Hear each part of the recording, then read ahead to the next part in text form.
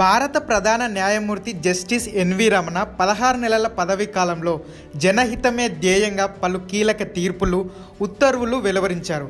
అయితే ఎన్ని తీర్పులు ఇచ్చినా పదవీ విరమణ తర్వాత అందరికీ గుర్తుండేవి కొన్ని మాత్రమే. మరి సీజేఐగా N V Ramana key moments ఏంటో ఇప్పుడు చూద్దాం.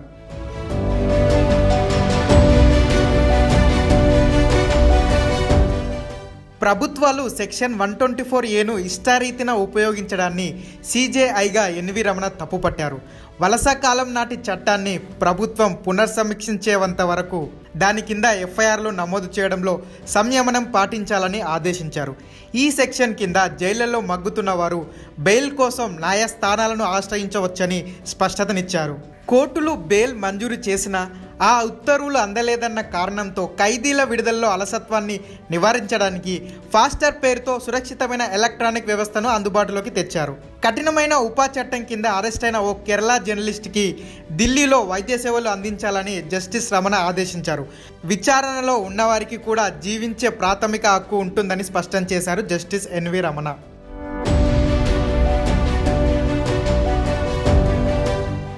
జార్ఖండ్లో ధన్బాద్ అదనపు జిల్లా జడ్జి ఉత్తమ్ ఆనంద్ను పట్టపగలే ఆటోతో ఢీకొట్టి హత్య చేసిన ఘటనను సుమోటోగా తీసుకుని సిబిఐ దర్యాప్తునకు సిజేఐ జస్టిస్ రమణ ఆదేశించారు.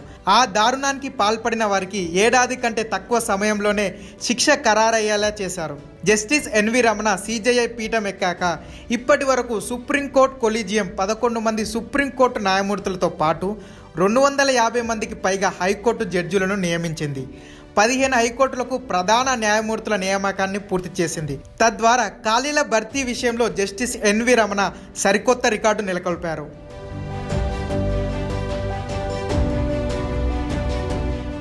తెలంగాణ హైకోర్టులో న్యాయమూర్తుల సంఖ్యను ఇరవై నాలుగు నుంచి నలభై రెండుకు పెంచారు. ఏపీ హైకోర్టు న్యాయమూర్తుల సంఖ్యను ముప్పై ఏడుకు పెంచాలని ప్రయత్నించారు. అలాగే హైదరాబాద్లో అంతర్జాతీయ మధ్యవర్తిత్వ కేంద్రాన్ని ఏర్పాటు చేసేందుకు కృషి చేశారు. ఏళ్ళకు ఏళ్ళు గెలుపు కోసం కోర్టుల చుట్టూ తిరగడం కంటే మధ్యవర్తిత్వం ద్వారా తక్కువ సమయంలో ఇరు వర్గాలు గెలుపు పొందవచ్చు. ఇలా మధ్యవర్తిత్వాన్ని ఇంతలా ప్రోత్సహించిన సీజేఐ మరొకరు బహుశా లేరేమో. అందుకే ఎన్వి రమణ ప్రజల జడ్జిగా గుర్తింపు పొందారు. సుప్రీంకోర్టు ప్రొసీడింగ్స్ ప్రత్యక్ష ప్రసారం ద్వారా ప్రజలకు చూపించిన మొట్టమొదటి సీజేఐగా గుర్తింపు పొందారు జస్టిస్ ఎన్వి రమణ.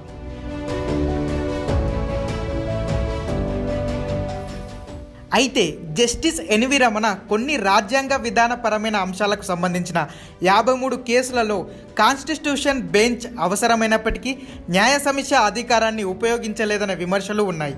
అవేంటంటే ఆర్టికల్ త్రీ సెవెంటీ రద్దుపై వేసిన పిటిషన్ను పదకొండు వందల రోజులకు పైగా పెండింగ్లోనే ఉంచారు. ప్రభుత్వ విద్యా సంస్థల్లో హిజాబ్ ధరించడాన్ని కర్ణాటక ప్రభుత్వం రద్దు చేయడాన్ని సుప్రీంకోర్టులో సవాల్ చేశారు.